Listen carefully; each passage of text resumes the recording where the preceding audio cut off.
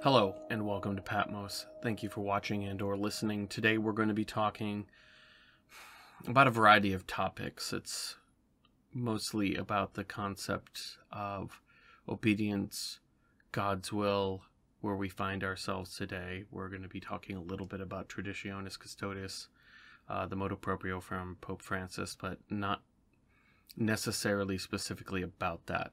Um, but we'll get into that here in a minute. I'd like to ask everybody who's listening uh, to the podcast to leave a rating if they can on iTunes. Uh, if you are watching on YouTube right now, uh, like the video, subscribe, hit the notification bell, all that kind of normal good stuff. And I also actually have a small community uh, that I started on locals.com, which is uh, more outside uh, the Silicon Valley control mechanism that exists on Facebook and Twitter. joining is free reading is free, but if you want to comment, if you want to post, uh, the minimum set by locals is two dollars a month, uh, which I use pay for equipment, hosting, the editing programs, and things like that. If you'd rather donate via cryptocurrency, the pinned welcome post uh, has those uh, on the local site has those addresses listed, and you can find that at ozymandias.locals.com. O Z Y M A N D I A S dot. Uh, you can also find me on Twitter uh, at twitter.com slash Paracelsus Burns. That's P A R C E L S U S B R N S dot com. Anyways, so I wanted to let's just get this out of the way because that was kind of like my little pin for doing the welcome here. Um, this is, uh, I don't have any notes. I don't uh, have anything. I've been kind of mulling this over, and I apologize uh, to people for not having uh, put out anything for a while because it has been uh, quite a while. And one of the reasons for that was that um, I had uh, some uh, trips and stuff planned. I was going to visit my parents for a week, um, bring my daughter home, and then uh, I also went on a retreat over the feast of Saint Benedict at the Benedictine Abbey at Our Lady of Clear Creek Monastery. And then after that, there was a bunch of family stuff, and I've been trying to get work done on the chapel, etc., etc. So, um, not to belabor you with my own personal things, but just wanted to explain why I hadn't. I've been trying to go over in my mind the the retreat um, just give a little background. Our Lady of Clear Creek. I'm not going to pronounce this right um, uh, because it's French, but uh, um, I think it's called pronounced Fontbalt. Um, it has a storied history. It was a monastery up until the uh, French Revolution, where it was basically shut down and sacked. And then um, at a later point, Benedictines started to return. And it's a traditional uh, order of Benedictines. Um, they maintain the traditional rule. They practice the ancient rite, um, and then they grew to a point where they decided that they wanted to establish an American order because so many young men from America were coming over to join. And what they've done is they looked all around, and then they were invited by the bishop of uh, Tulsa, Oklahoma, and they found a big stretch of land that they were able to purchase, and from basically uh, the they they I don't know if they constructed it or if it was already there, but it was basically a, a steel barn of sorts um, that they constructed a chapel and some rudimentary living quarters. And because of generous donations and just the, the work, they've expanded uh, quite significantly, where they now actually have an abbey under construction, not completely built. The crypt um, is where they say all the masses. The the main area, um, or I should say, the the the upper uh, abbey is not completely finished. Um, it's raw concrete floor, but uh, the roof and everything and the pews are all in there. And it, it's a very beautiful experience. I would recommend if anybody has the ability to. Um, they take donations um, basically to stay there. I think it's like between forty and fifty dollars a night if you stay at the lower. I stayed where the original um, housing was, and in that steel barn. And then so I had to walk up to the abbey, which is a, a, a short walk. Um, and uh, for the various uh, the liturgy of the hours, the divine office uh, it's said every day, um, seven times a day, and it was very moving. There was a wonderful group of people, and it, it's it's what's amazing is that they are unlike a lot of orders where they are either having to move and and consolidate they're actually expanding to the, the point where um, they have way more people interested in joining than they do um, than they have room for to the point where they've kind of stopped construction on the abbey to a point to finish the building of a new wing of housing because uh, some of the monks are living in the housing that's already been built. Some are living in sheds basically um, out on the property and just to see the lay brothers they're not allowed to talk to us. I mean we can ask them questions um, as far as for hey is the abbey up that way? or you know uh, basic questions and they'll motion if they can they'll they might say a word if that's necessary to convey the information necessary. But it was very moving. It was so quiet um, except for you know the, the, bells ringing for mass, the bells ringing for the divine office, and it's also a, a Catholic community has sprung up where people are moving to be and live around there, and they show up every day. There's families with large numbers of kids that show up uh, for mass, uh, definitely on Sundays. Um, and for daily mass as well, and then there, there's a whole group of people that show up for the various hours of the day too.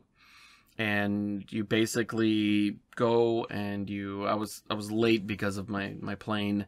Um, I wasn't able to uh, make it there for sext and um, uh, SEXT is the the term for kind of the midday prayers. Um, and lunch but uh, so I had to check in a little bit later than I wanted to um, but I wandered around there for a little bit and it was really a experience I'm still kind of figuring out what I was kind of given there and how to implement it um, in my life. One is um, something I do feel adequate enough to talk about is this quiet contemplation um, as well as a kind of a penitential outlook. Um, finding a quiet space and, and creating that in your own life and it makes this chapel project um, even more, which I've been able to do some work on now, even more important to me. Um, the idea of kind of cutting things out that are not helpful to your spiritual development. Um, especially the lay brothers spend their day working, whether it's in the fields with the animals, fixing stuff, depending on what they're you know what they're best at, um, as well as just quietly working. And the Benedictine concept of ora et labora, prayer and work, um, where if you fill your days uh, with work at a very basic level, keeping yourself busy, you have less time to fall to temptation, to contemplate, or to allow those sorts of temptations to come into your life. But more importantly, that you look at all the little things you do, which we do so many things that are mundane. Uh, taking out the garbage, making a dinner, um, cleaning up, vacuuming. You know, these are very mundane, normal tasks that we do every day.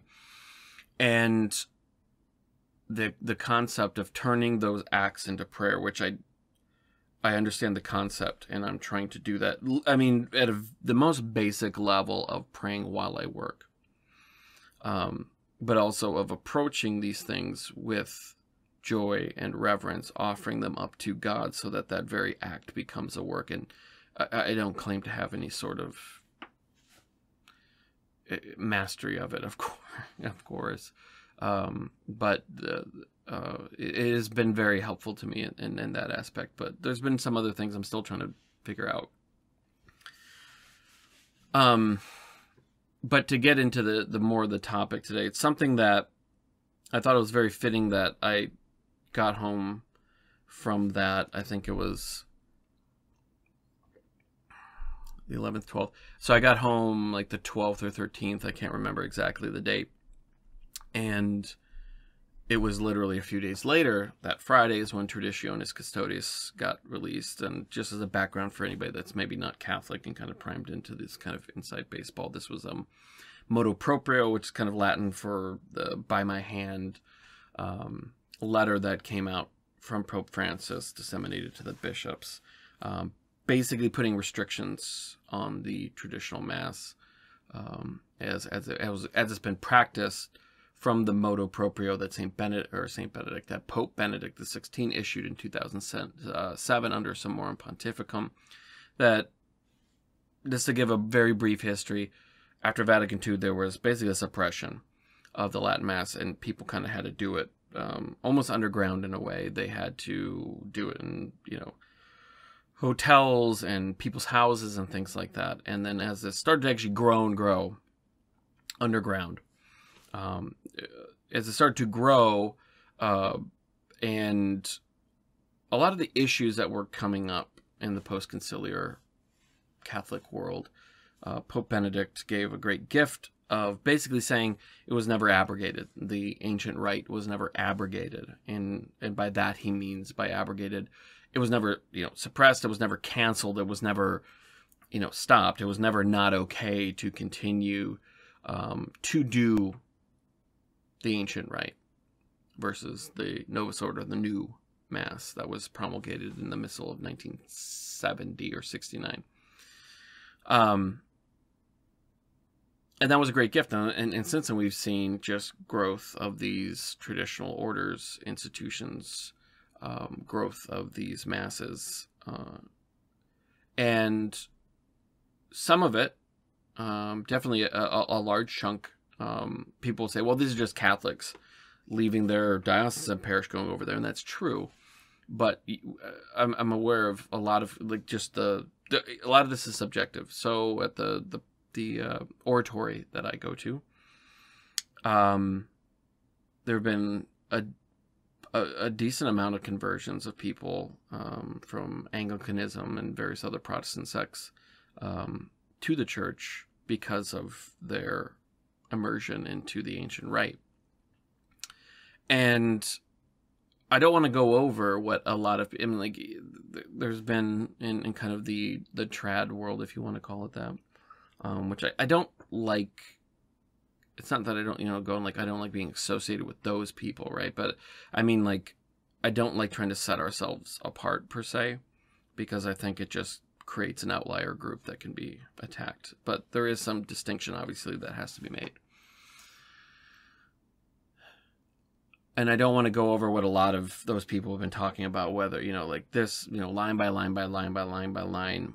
Um, but the gist of it was, was that the Pope said that he'd put out uh, basically a survey asking how, to every bishop, supposedly, that how are you doing in your specific diocese with these, you know, communities, these uh, run by the Fraternity of St. Peter, uh, run by the Institute of Christ the King, and there's various other institutes and stuff that that uh, are basically traditionally oriented and practice the ancient rite. And because of that feedback, he says that's you know that he's concerned with people who believe that they are now the true church and that you know, uh, the Pope in Rome and, and those who go to a diocesan parish are somehow not the true church, right? Um, people who actually have that view uh, are, I would say, already in material schism with the church, and that is a dangerous place to be. I reject sedevacantism. I reject um, this uh, anything kind of associated with that, uh, because I think that once you I understand why.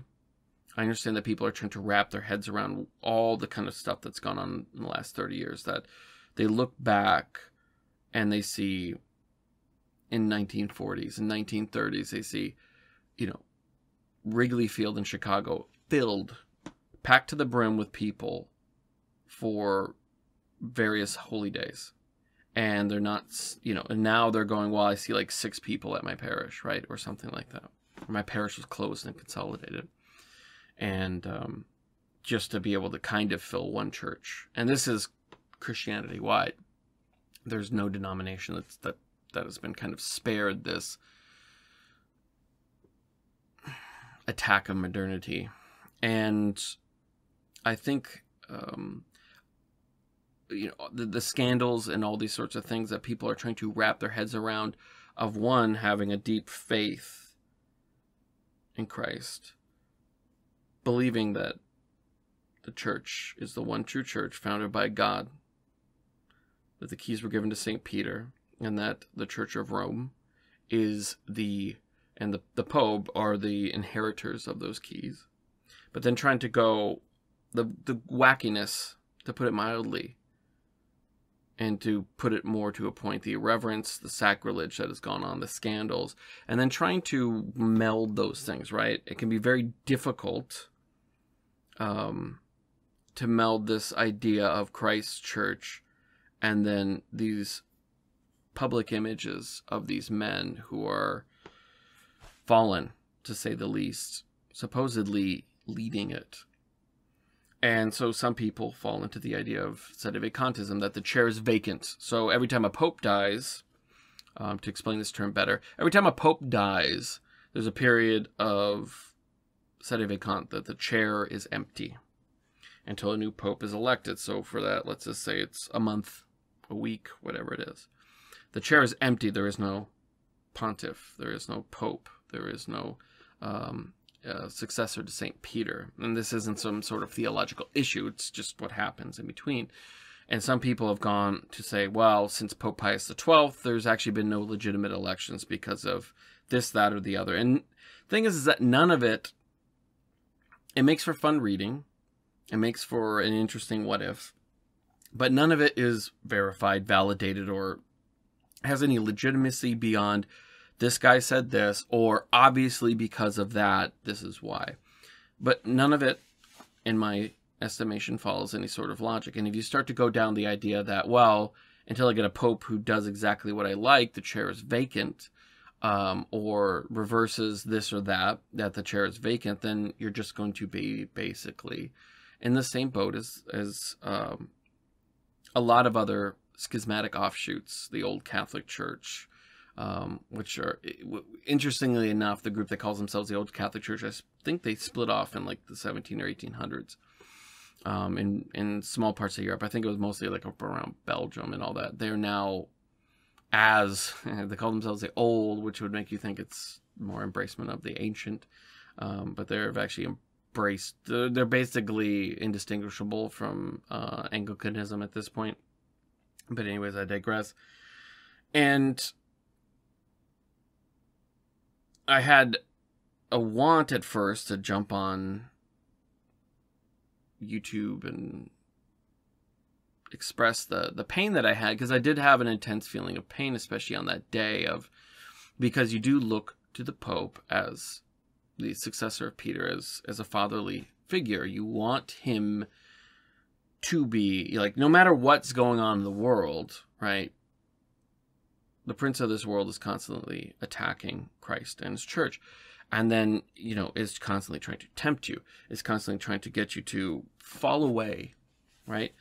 And that, you know, even in times of, not saying I'm living through that, you know, a persecution on, um, to the extent of, you would say, like after the Russian Revolution or um, during Nazi Germany uh, times or uh, French Revolution or, you know, on and on and on Romans but like even if the worldly powers are arrayed against you, like you could like I can always look to the church, but specifically to the head of the church for this kind of confirmation and this sort of fatherly embrace of sorts as Christ's vicar on earth and kind of saying stay you know stay strong be steadfast in your faith, you know, all these sorts of things. And then to have kind of this trying, you know, uh, doing our best and trying to live a fully Catholic life, and right, and, and we'll get into this a little bit, but not just not just the mass, not just the liturgy and the ancient rite, right? But also of just going beyond that and and and living a fully Catholic life. Fully embracing Christ, fully embracing his church, fully embracing the way we're supposed to live. You know, averting our eyes from things that could tempt us, not watching um, things that will be detrimental to us. Um, you know, staying away from, say, you know, like pornography, staying away from um, drinking, staying away from these things, not practicing contraception, um, not allowing yourself to fall into all the sorts of things that modernity tells you are okay, but Christ and his church have always said are not, right? And it is easy at some time, at, at points, you'll have just this explosion of grace in your heart. And it's easy. You just go, yep, yep, yep. No, I'm good. I'm apart from this world. And then at other times, you just go like, man, it would be so much easier to fall into it and just fall in line and do all the things that everybody says are the proper ways of being. And you look and you want that kind of that fatherly figure to say, no, son, you're doing, you're doing the right thing.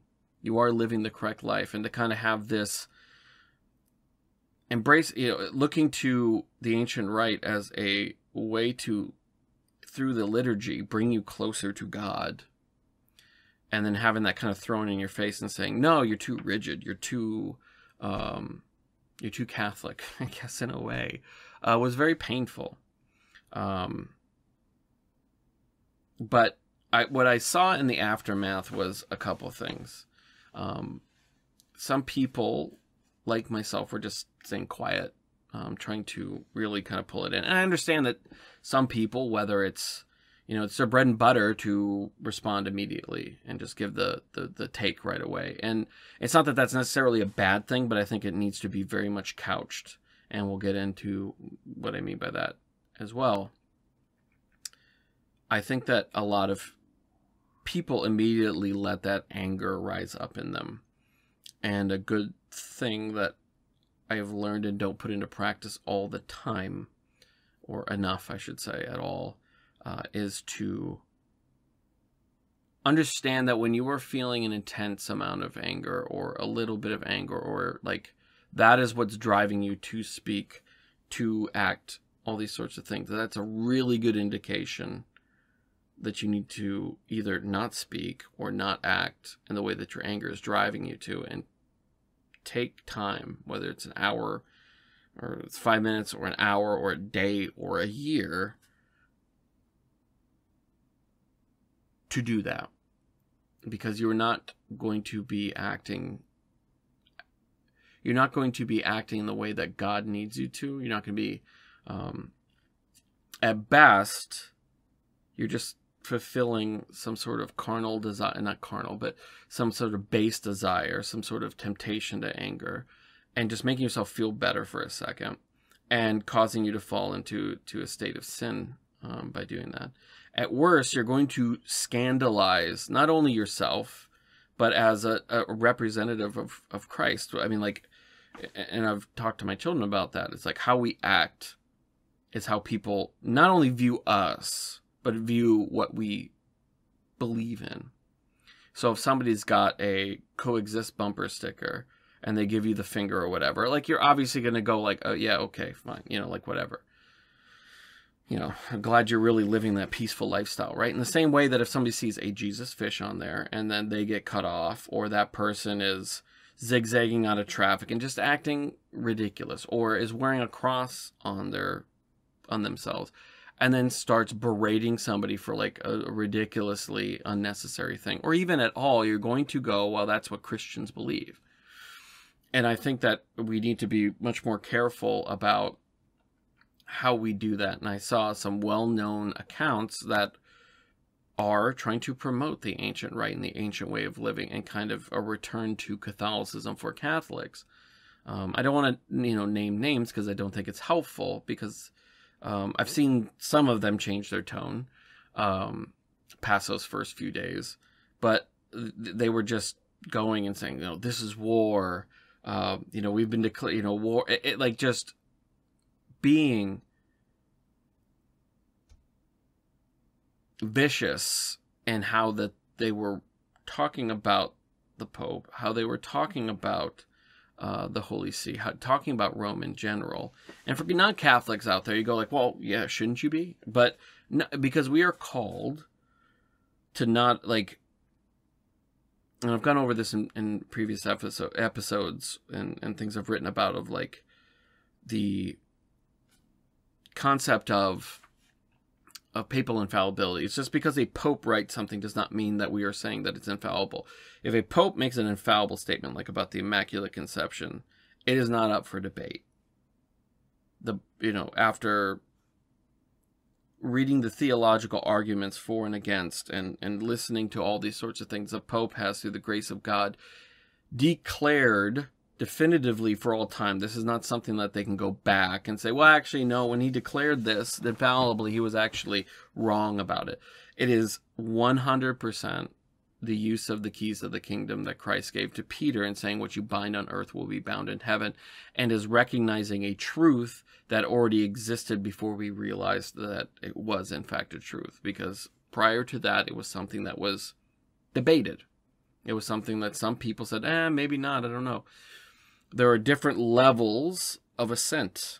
Um, actually, I think we went over this um, in the episode with Cyprian about the levels of assent and and what you basically are kind of allowed to do. And for a lot of people, especially if they're coming from more of a libertarian or American background, this idea of not being able to question something is very alien. And for some Americans, maybe not, but um, there's levels of assent, right? If something is an infallible teaching, if something is literal dogma, it's in the creed or something like uh, the Trinity. That is not up for debate. That has been absolutely decided upon. And you are not, I shouldn't say not allowed, you're allowed to disagree, but then you are falling into a state of sin because now you are falling into heresy, right? And there are levels of assent all the way down on levels of teaching. And and the the I'm not a theological or papal scholar or anything like that. So I may you know, if I say something and you are, and you know that's not exactly true, know that it was not, uh, it was it was out of ignorance. But there's levels of assent to papal decisions depending on where it comes. Motu proprios are actually really the the lowest level. Uh, it's not a papal encyclical. Um, they're not uh, binding per se in terms of at the level of belief in the Trinity, but they are binding uh, in terms of we should give it the deference of basically a, a, a deference and an obedience. And same with the office. Even if a pope is a horrible man, you, you can look through um, uh, the the you know the the Borgias and that whole thing. Like there's shows and all about that. And these popes that had wives and children out of wedlock. And, well, I mean, obviously they're out of wedlock because you know they're supposed to be uh, maintaining chastity and holy orders. Um, but all these, there's a level of it's by giving assent and obedience. You're not saying I think that what they're everything that they do is moral and right and all those sorts of things. But when they make pronouncements, there's a level of obedience that must be given until a time that it can be either shown or or whatever to be to be uh, in in in error, I guess you could say. And most importantly, we as lay people, as much as you know, the, um, especially coming from the West and especially America, and of the social media generation, we have this idea that we need to have an opinion, and one that is absolutely correct at all times about every little thing. And the fact is that most people don't know that much about anything. There's certain areas, maybe you know a lot about sports or like you're a big football fan, so you may know all these sorts of things, and you may have a high degree of uh, uh, a high degree of knowledge and and kind of um, you know artisanal ability in a certain area. You know how to work with wood. You know how to build a house. You know how to fix a car. In those areas, you do have some expertise in that. As the lay person, and most of the people that I see, especially within traditionalists, act as though they are theologians because they've read two or three books or they read something that somebody posted that St. Pius V or Pope St. Pius V wrote back in at this point and this point and this point. The Pope has the absolute ability and right to, as has been recognized by the Church for a very long time, to make choices in liturgy. It does not mean necessarily that that is the right choice forever. Obviously, there's been organic development in the Church. There's a lot of people po- uh, posting back to Trent and Pope St. Pius V, and this idea that when, you know, uh, some of the things that were said around the reorganization of the liturgy at that time, and saying that, well, the, you know, these things should never be changed, right? And they'll point to that and say, well, that's, I can't, it's Origen. I can't remember the exact Latin name for it. It doesn't matter. And it says basically, paraphrase that, you know, the things that have been set down in the Roman Missal of St. Pius V shall, you know, shouldn't be changed. They're not ever saying that no pope at any time in the future cannot make a change. What they're saying is, is that at the time there were so many different rites, the Ambrosian rite, the Dominican rite, everything like that. And they basically made a decision, I think it was like, if it was not older than 300 years or 200 years, um, it was basically no longer allowed and that you were to adopt the new Roman rite set forth, which is you know when, when I'm referring to the ancient rite, um, as promulgated by Saint or Pope Saint Pius V. But it does not mean that the Pope's never allowed to change. If that was true, then the Mass, the ancient rite, in the West or the East, would not be valid because they have been changed. We've gone from as much as I think that uh, communion um, on the tongue is preferable to communion on the hand, it's actually older to receive on the hand. Well, actually, left hand, and then so most of the early Christian churches, if you look back through, they were doing communion on the hand. Now, I think it is more reverent, and especially in modern times with the lack of catechesis, the lack of belief in the real presence of Christ, the lack of uh, respect um, that people have, communion on the tongue is definitely more called for for the times and is uh, a way to instill more reverence. I don't think the communion on the hand is a sin, and uh, but I do prefer it as a symbolic act of deference and reverence to Christ, and saying I'm not going to touch it. And and it's not because I think that I'm unworthy to. Uh, I just think that it is more reverent and is more it is it is a more useful tool to promote reverence in these times. And I was talking to um, someone we might actually do an episode together.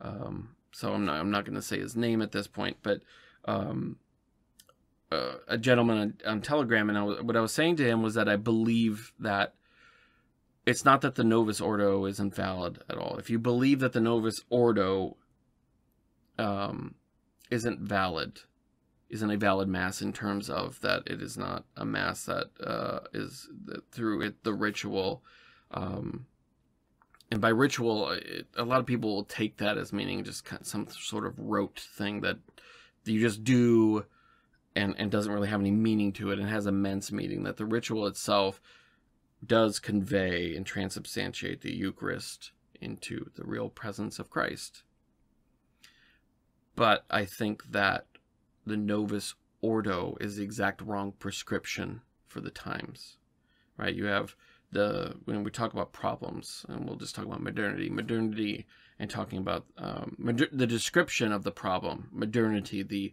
lack of reverence, the falling away from God, the falling into occult belief, the falling into false religions that appear to not be religions, the the serving of the prince of this world are all descriptions of the problem. The prescription is what what what do we do to fix that? And I think the proper prescription is tradition. The proper prescription is the ancient rite within Catholicism, right?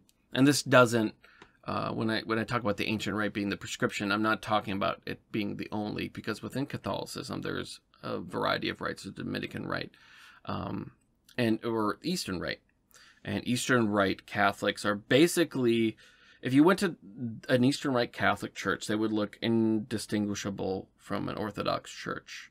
They maintained the there's Byzantine Catholics, there's Melkites, there's Maronites.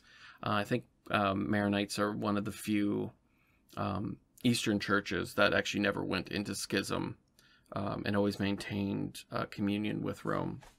But over time, some Eastern churches have recognized the Petrine Primacy and uh, have come back into communion with Rome, and have, but have maintained kind of the Byzantine Eastern rites, and they look almost indistinguishable um, from uh, most. You know, it, there, there's going to be differences because there's differences in Greek liturgy versus Russian liturgy versus Serbian or whatever. Um, but a, a, very basic, the look of the church, icons, the candles, all these sorts of things, uh, the divine liturgy, and, and, it's very, it's it's absolutely gorgeous and it's beautiful and it's part of the rich tradition of Catholicism. Um, so I'm not saying Eastern rites should adopt the ancient Latin rite uh, for the only prescription. I'm talking about tradition, and within the West, that is the ancient rite, um, most notably promulgated by uh, Pope St. Pius V. I think that that is the right prescription. I think the tradition, I think that uh, going back to the ancient, and not just in the liturgy, and this is what I wanted to get into too, is that I see a lot of within traditional Catholic circles at least, is that it is a lot of focus on the liturgy, which is very, very important because it is symbolic all of these things are symbolic, and I don't mean symbolic as in a met, just a, like a merely just some sort of metaphor. Um, that is their uh, uh, because it's hard to explain. I, am pretty sure that most of the people watching this or listening to this um, are aware of and have watched videos by Jonathan Pageau explaining, you know, the symbolic. And the symbolic is is real. As real as uh, you know as, as real as the material i'm holding up a glass that we see before us. The symbolic you know the supernatural all these things are just as real as ours. We just we can't perceive the supernatural as it exists all the time.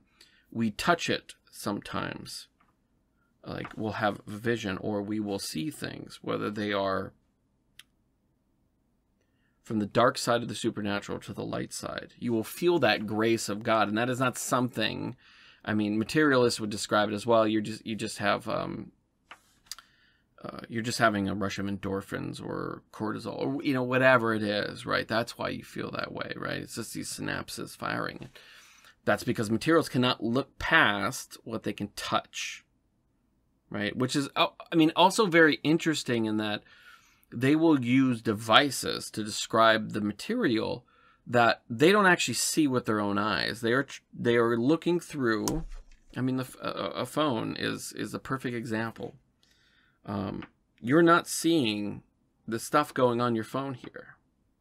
Um, like it, it is visually represented to you, but what's actually happening within this, and this is what um, Cyprian has talked about a lot. It's like you know, any technology sufficiently advanced enough is indistinguishable from magic. And that was Arthur C. Clarke's way of describing, you know, when he says magic, he means the supernatural.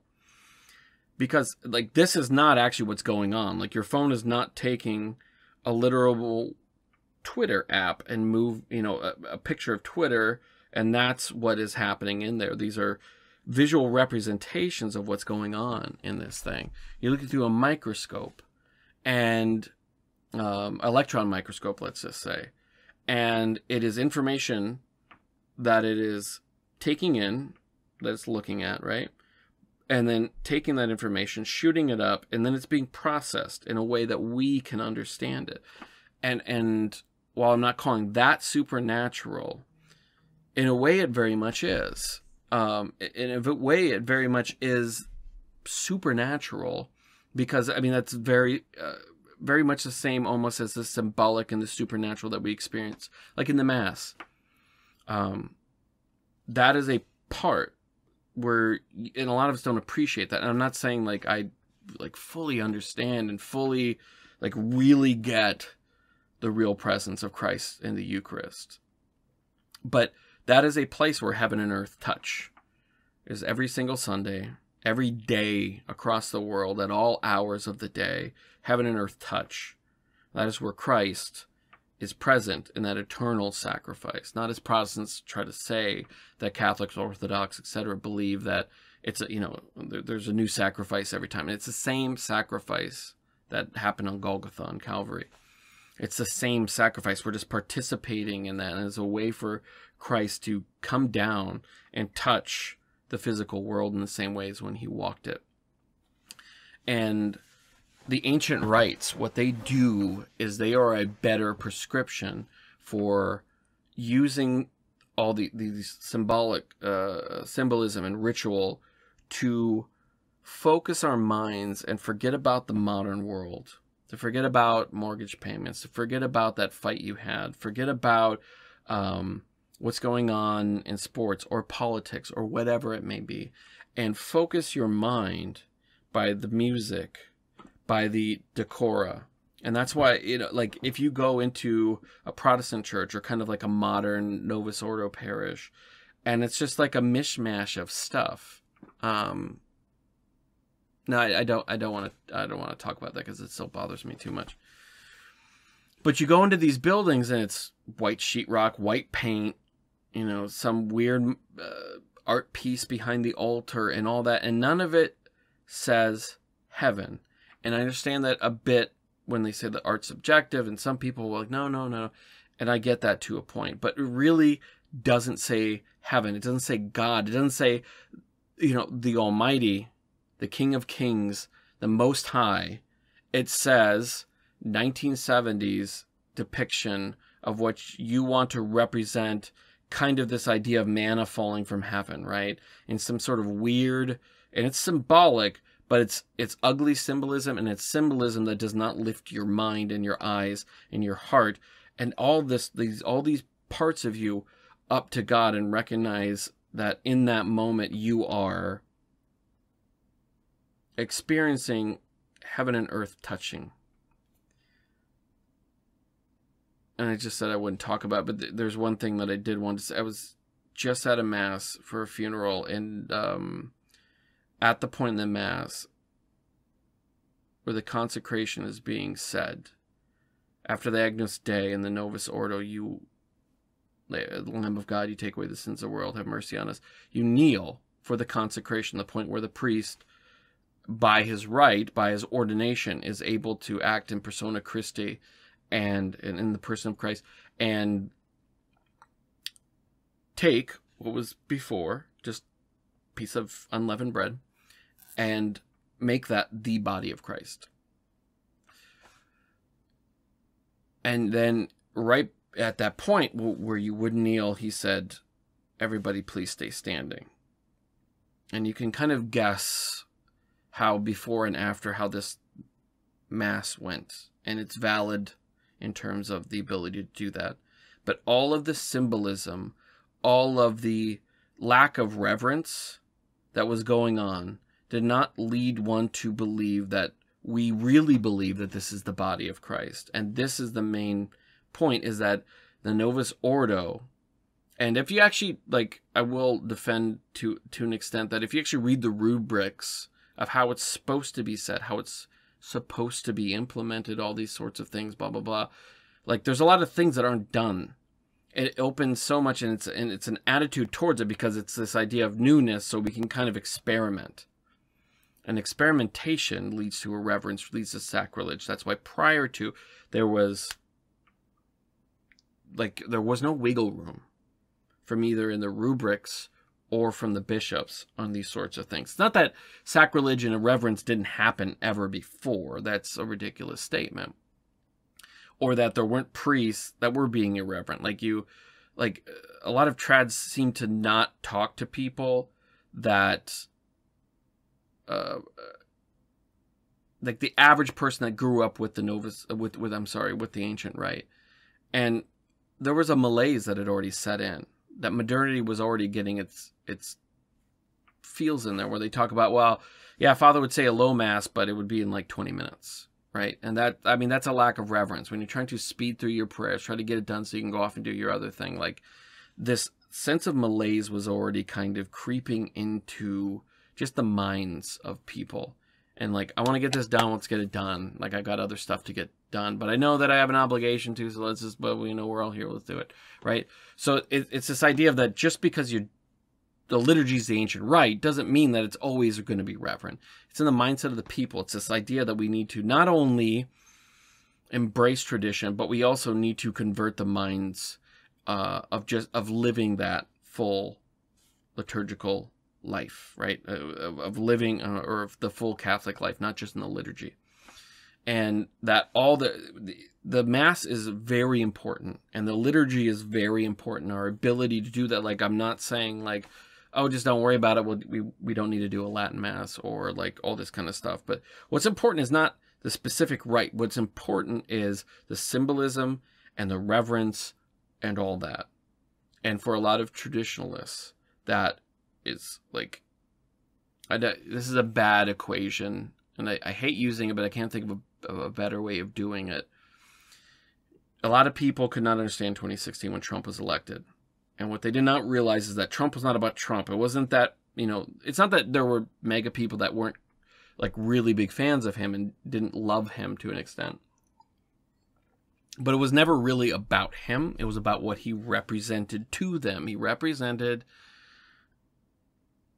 and, and pardon my French, a middle finger to a society and a culture and, and elitist institutions and academia and media and politics that looked down on them and just didn't just say, you know what, we got a better way, but looked down on them with disdain. You cling to your guns and your religion. You want, you know, like move on with the times. You, you, you know, you idiot, you know, toothless redneck, right? Trump was somebody to them that said no, like this is actually a better way. That's what he represented to him. I'm not saying he was a good representation, he was a good symbol, but that's what he was. And I'm not equating Trump to the Latin Mass, the ancient rite, but the Latin, um, the the Latin Mass, the ancient rite, is to traditionalists kind of like this symbolic lightning rod of we die on this hill because this represents everything.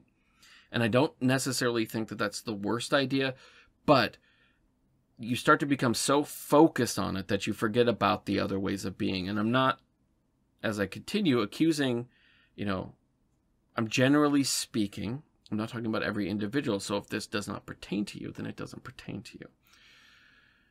But I see a lot of people that are traditionalists and they will do a, they, they kind of, a lot of them, maybe this is more of a Twitter thing than anything, but it seems like they like to cosplay tradition in terms of I'm gonna smoke cigars and I'm gonna drink whiskey because that's what a man does, right? And it's this idea of, and I'm not saying that we don't need a rebirth of of traditional masculinity in the way that it's supposed to be, but this idea of we go back to 1950s masculinity is somehow a fix as well for the culture and the family is is dumb because there's a lot of people with some terrible tales about this. You know, like that's where the idea of toxic masculinity comes from because there were men who took advantage of this scriptural basis for the man leading the family and and the woman being submissive to her husband and then decided well that means i get to do whatever i want i get to tell her whatever she's going to do and she just has to deal with it this is why femin like we never look back and go why like why did feminism come about? It wasn't just because women were going i would like to get into the workplace and out of the kitchen.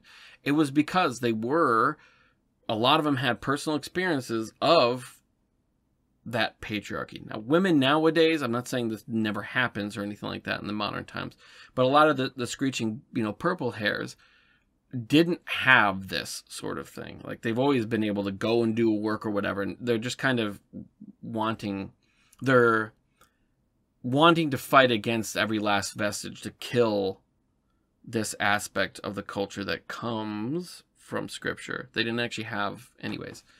I, I don't I don't want to go down deep into that, but like this cosplaying of like this masculinity of like I smoke cigars and I drink whiskey because that's what a man does and blah blah blah. You know, it's just, it's a cosplay. It's no different than a Ren fair of like, well, I'm gonna dress up like a knight and eat a turkey leg, and you know, this is this is me being you know a medieval knight. It's like, well, no, there's a lot more to it.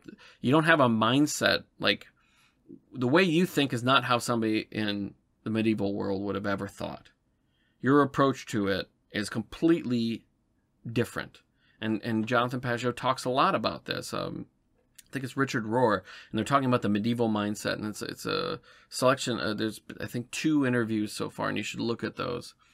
um, of this idea of the, the medieval mind because we don't think about I, I I don't have it either. I'm trying to learn better, and I think through the embracement of of tradition and the embracement of symbolism, they very much lived in a symbolic world. They did not look at things of like, oh well, you know, this happened, but that's because of the barometric pressure and all these sorts of things. And it's not that also those aren't useful, but we have so far in in the modern world just rejected everything symbolic, everything of the medieval mindset to embrace materialist enlightenment thinking that we are gaining what we can from the material, but the bad parts of materialism are just destroying us. And that's where the medieval mind it's like a, it's really it's like a hybrid mixture of this is what we kind of need. We need to focus more on the medieval mindset and embrace the the goodness that you know the enlightenment i guess you could say and, and it's not a bad thing to use a tractor it's not a bad thing to have a computer i mean obviously um it, but it's how we use that. And then how we use that that's where the medieval mindset the symbolic mindset comes in because that leads us to christ. That leads us to living that fully christian life. And i see a lot of trads to get back to that kind of cosplaying this traditional masculine idea. And then they're not doing the reading. They're not doing the how do I really you know they're they're praying their rosary. They're praying their stuff in latin. Maybe they're doing the monastic diurnal and stuff like that. But it's like you know as as you start to get down and go oh well you know you you know like um, reading hildegard von bingen's visions like oh oh yeah it was yeah yeah i know who she is it's like they're not doing the spiritual readings. They're not living the actual life of that medieval mindset. They're just wanting to cosplay and wear the clothes of the medieval mindset without actually, you know, living that. Um, and actually fully embracing it, right? Smoking a cigar and drinking whiskey does not make you a man. What makes you a man in the truest sense that is expressed through the tradition as understood through uh, scripture and and and um, I should say, as exemplify or um, the the truest sense of masculinity that we know, like Saint Paul in Corinthians, right? Yes, men, eh, wives are to be submissive to your husbands, but there's a lot. There's more than just like you do what I say. It's a matter of like this interplay of love and respect for each other and their roles, not just as one masculine is better than the feminine, not at all. It is a like it doesn't work. Right? This is an uneven system. You need to have this symbolic and symbiosis of the two to actually make a family properly function. Right? The, the, the family does not work if it's just the masculine. The family does not work if it's just the feminine. You have to have the two come together to properly function in the sense that God wants us to. And that's where you see those families that are integrated to a you know the fullest extent that that you that they can do so is the the you know the families that you go like oh well they're a really good family those are really good kids and blah blah blah blah blah whether they're poor or rich or anything like that um and that's what we need to embrace. We need to focus on changing the culture. And it's not that if you go to these traditional parishes, the culture is much better. The, the culture is this traditional parish life. You go to these picnics and and every, you know you have these prayer groups and everybody knows each other and everybody kind of hangs out and you and you intermingle in terms of just your friendship group so that you're edifying each other and not having well and it's not evil to have you know friends that are outside of the church or outside of kind of this embracement of the traditional culture but you also it, it, there is danger in that because they when when you're talking with them they're bringing the world to you right? They're you know oh did you hear about this or did you watch this or let's do that or let's play you know this game that just you know talks about all these sorts of vulgar things or whatever. Or um, when you are in times of crisis if all your friends are of the world and you're turning to them for advice and all that, they're not going to give you the Christian advice that's going to lead you closer to God, that's going to help you make that decision that God wills. They're going to tell you what the world tells them. They're not evil in of themselves, but they are passing along to you a level of temptation and evil. right? And this is what we need to guard against. This is what um, embracement of fully traditional culture is creating. Community is a big part of that. Community is a huge part of that. And the idea that the only way that you can have and live a truly fully Catholic life is if you have the ancient rite available to you every single Sunday or daily or whatever is ridiculous. There's a multitude, there's been millions and tens of millions of people throughout history, whether it was because the Mass was suppressed, right? The church was suppressed, or they converted but lived in an area where there was no local church that were able to live. The idea that, well, um, when um, St. Athanasius was exiled for the thousandth time, I mean, granted, he was a priest, but, you know, he wasn't having access to these sorts of things, so he wasn't able to live the fully Christian Catholic life is, is ridiculous. We can live that even within a Novus Ordo community. And if let's just say that the, the Mass was fully suppressed, the ancient rite, which it's not, and I'll briefly mention that here in a second, um, and reasons for hope as well, um, is that if, let's just say you had to do the Novus Ordo, well, your priests could do it in a very reverent way. It would still be a meeting of heaven and earth. The way that you construct your church, and the way that you construct your songs, and all these sorts of things you don't have to sing Protestant songs to do Novus Ordo. You don't have to face. Um, it's not pro populum, but um, I, I, forget the first word. But anyways, towards the people, you can do it ad orientem. And actually, if you look at the rubrics, it assumes ad orientem from um, people have said that, and then actually it was trying to you know read the rubrics myself, and it actually does. There's points where it's like, and then the priest turns to the people, and blah blah blah blah blah. Well, if you're already facing the people, then you don't need to say face the people, right? So it's assuming that you're ad orientem, facing the east. Um, and the idea that you that that you're going to fall away from the faith, that you're going to become a porn addicted divorcee on your third marriage, because the Novus Ordo is at your parish. That's a personal failing. It's not God that's failing um, you could say that the church is failing in providing a a edifying liturgy that uh, a more edifying liturgy that um, subjectively allows you to um, through your own subjective preferences be able to allow you to focus your mind more. But if you google um, st john cantius ordinary form on or just look it up on youtube um, it's in latin incensed, all that kind of stuff. And I understand the arguments of this prayer was removed and this prayer is important. Like, I get that. I'm not disagreeing necessarily with that.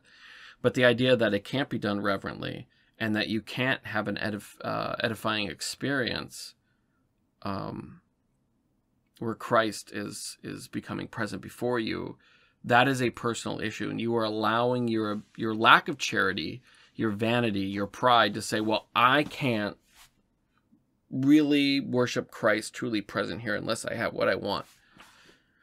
And once again, I'm not saying that the ancient rite should not be promoted, but I'm saying is that that is a personal issue with you. And that is something that you need to look deeply into yourself. Um, a reason for hope, though, is as we've seen, is that supposedly, even though most enough bishops were saying that this, you know that these trad quote unquote trad communities were problems in their diocese. By and large, the vast I saw I saw a thing and, and I did not I was not able to and I I don't necessarily want to say this because I haven't been able to verify it, but there was numbers that somebody had um, put up on Twitter that was saying like so far it was like 16 dioceses had totally suppressed the Latin Mass. Um, about 30 had um, basically put some restrictions in. And it was like 170 basically said no changes whatsoever.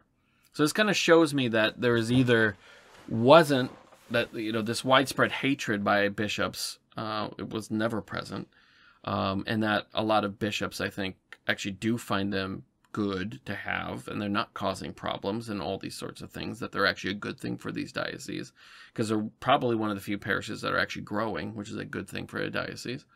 Um, and it's also probably a response. It was very heavy handed. As much as this Pope has talked about mercy and has, you know, constantly said, Who am I to judge? and wanted, you know, we need to show these people uh, mercy and, and give them a hand, even though they may be living an immoral life or have heretical teachings. We need to reach out and show them love and mercy and be imagers of God's mercy. This was a hammer down. Um, but there's no reason to lose hope. And there's no reason that the biggest thing I have a problem with is I see these people, and I know it's young men who are you know, whether their conversion was a year ago or whatever, were on Twitter F bombing people who did not like or believe whatever it was that they liked or believed in, at the time, whether it was political or whether it was about a TV show or a video game or whatever it may be, and then just transfer that attitude and go, well, I'm a trad now, so anybody that isn't trad, um, I'm, I'm just going to F bomb them and call them every single name in the book. And this lack of charity is absolutely ridiculous. This idea of like I can look into everyone's soul and know, well, the reason you're saying this is because you're evil and you're a modernist and you're a heretic and you're an apostate. And the reason that you prefer a, a charismatic service is obviously because you're a closet Protestant and, and, and, and the devil has a hold of you or something like that. Um, it, there's like zero charity in some of these people, absolutely zero charity. And lack of charity is, sorry to say, it's a sin you can't sit there and blow up and f bomb people and use every vulgarity in the book and then just say, "Well, I'm I'm a trad," right? Sorry, I think I heard one of my kids above. Maybe not, but you can't do that. The, like going back to saying the traditional life, the traditional Catholic life, and all these sorts of traditional um, ways of being are part of that. Is like, and that's why I said it's it's, it's cosplay. They want to put on you know, it's it's like it's basically like uh, trad hipsters. You know, they want to put on the outfit and then say, you know, look at me. You know, I'm, I'm from 1920s in Bir- uh, Birmingham, uh, London, or whatever. It's not Birmingham, London, whatever. Birmingham in the UK. Um, but you know, they go, well, I'm living a trad life, but I'm gonna drop every f bomb and and just being absolutely just indistinguishable from some new atheists. Um, you know, people know us by how we act and, and they see Christ in us or they reject Christ because of us. And that you, the, the sin of scandal, the sin of committing a stumbling block is something you really don't want on your soul. It's not that it can't be forgiven, but a lot of people don't even think that it's a problem. And if you are not asking for forgiveness for a sin that you're committing, like there, there's a level of you're not held accountable for that ignorance, but like you're you're also held accountable for not kind of like talking to yourself and saying, is this a good thing or not? And as a trad, you should be kind of aware of a lot of these things that modern people and modern Christians overlook as far as for how we're supposed to act, the sins that we do commit in our acts and our deeds. If we are going on there and saying, oh, well, we are the future of the church, we will save the church by restoring the ancient rite also, I'm going to call you just absolutely vulgar, terrible names and just laugh about it when I when some when they respond to you saying, "Well, that's not very Catholic of you." And just think that it's hilarious and say, you know, F you or something like that as a sign off. Like you are not I mean like they always want to bring up well Christ turned the tables. Yes. But one, you're not Christ and two, he was not throwing out curses and vulgars and F bombs and all these sorts of things. And is anybody recognizing Christ in you in these actions? We have great hope. We know the ending to this story. The church does not fall. God wants us to be faithful. God wants us to be faithful to the church and to practice, you know, to be reverent and to practice the Mass. Uh, or, I'm sorry, practice a, a, a Catholic life. Part of that being reverent liturgy, part of that being, you know, I, I think the ancient rite. I'm not. I don't. I don't know God's will. Maybe it's not as right, but also we have to remember that all these sorts of things that you can point back to and say, well, it's you know the reason that we've lost faith is because of you know the new mass or Vatican II or whatever. It's like it happened. If something happens, it's because it's either God's will that it happens he wants it to, right? Or he's letting it happen for another reason that we can't understand. Everything that is happening is either because God wants it to happen or he's allowing to happen because we don't understand his will. And I don't understand it. Like, to me, wouldn't it be easier Catholics did not, if we did not have this precipitous fall in vocations and people coming to church and um, attending the Mass and um, believing the real presence? Like, I don't understand why this is happening.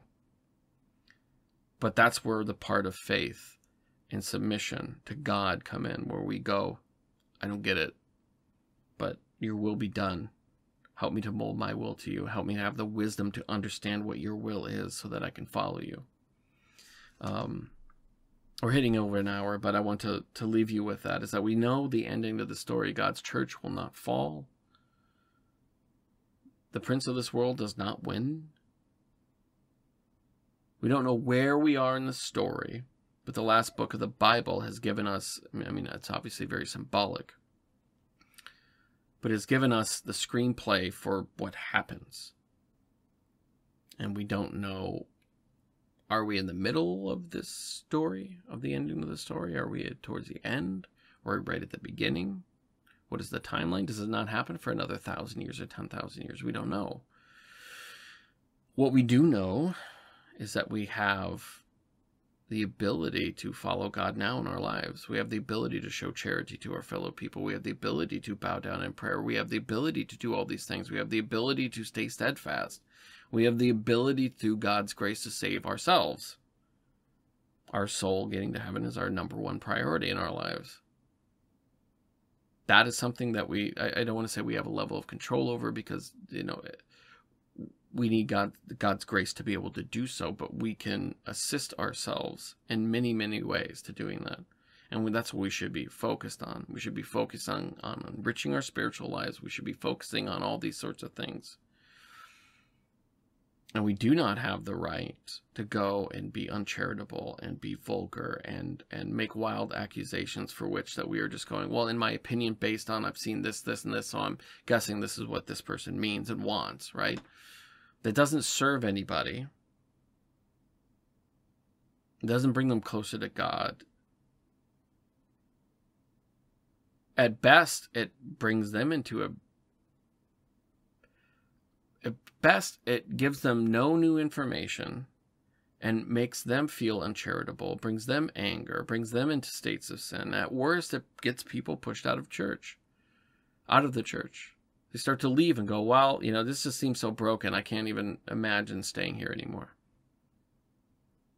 Now, if you, there's a difference between saying, I think that, you know, like I recognize there's major problems. And there's major problems in every single church. Don't let anybody fool you, whether they're Protestant or Orthodox or whatever. Modernity is creeping in everywhere. This is a great heresy that is affecting everybody. Some have been able to uh, weather that storm better in their liturgy. Some have been able to weather it better in how they um, are approaching morality or whatever. But everybody is being affected by this.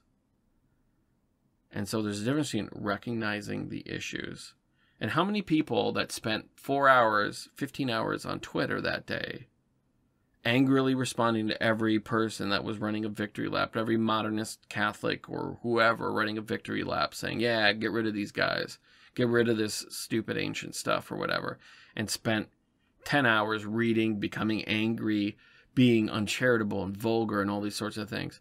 How many spent a tenth of that time in prayer, in reparation, in fasting, in time before the Blessed Sacrament? I'm not trying to hold myself up and saying, "Look at me, look at me," but like I, I, I was trying to make myself conscious. I felt, I felt anger, I felt sad, and I ended up fasting a prolonged period uh, of that day. I had one one meal towards the end of the day. Um, Friday's a usual fasting meal for me, but I usually have something at uh, after three o'clock and then a meal at night, and I you know skipped it and just had kind of like a smaller meal at the end of the day, and kind of this. I wanted to offer reparations up to God, and, and so that our that our cries for you know, please God assist us. Please accept this reparation for sins against your sacred heart would be heard. How many people were doing that?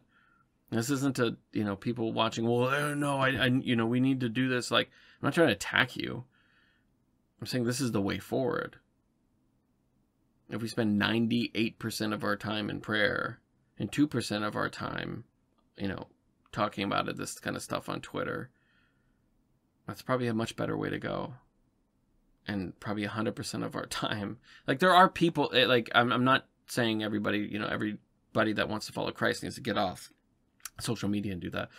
But there are times when you recognize, like, maybe I should take a break for a month, a day, a week, whatever it may be. Not everybody's called to have a voice and make, you know, like, let everybody know what they're saying. And there's part of myself where I'm still struggling, like, do I even do this? Is this even helpful? Is this useful? Um, am I better serving God and myself and my family by maybe um, focusing more on on prayer and on excuse me, catechesis on my children and things like that. Um, or can I do both, right? And so it's something, and if I come to the idea that uh, I, I, my voice doesn't need to be out there, that's when I'll kind of sign off again. Um, that's part of the reason for my, my quietness is like, do, am, am I being helpful or am I contributing to scandal by talking about this? Um, it's something that I'm trying to discern. So, anyways, I'll I'll, I'll sign off here, and I appreciate uh, you guys listening. I appreciate you listening. Um, please head over, follow me on Twitter. Uh, you can find me at Paracelsus Burns, P A R A C E L S U S B U R N S, Paracelsus Burns, or head over to Locals, ozymandias.locals.com, O Z Y M A N D I A S.locals.com. I know I need to make things uniform and easier to understand, but all the good handles are taken. Um, I really, I really do appreciate. Please pray, increase your prayer, increase your fasting, pray for the church, pray for our bishops, pray for our pope. Make reparations to God. We are in an age where we need to make a lot of reparations to God for these sacrileges, irreverences, uh, mockeries, destructions of the churches of God, desecrations of Christ's real presence in the Eucharist. We need to be um, very penitential and, and, and a lot of reparations in these days. But uh, please take that into consideration. But anyways, I, I appreciate you guys listening. Te Deum Laudamus. Thanks be to God.